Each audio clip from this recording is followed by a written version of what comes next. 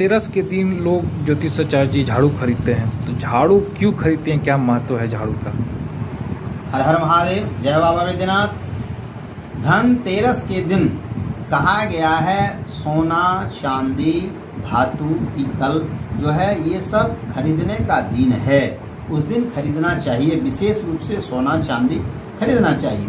लेकिन विशेष रूप से झाड़ू का महत्व धनतेरस के दिन है। झाड़ू क्या है?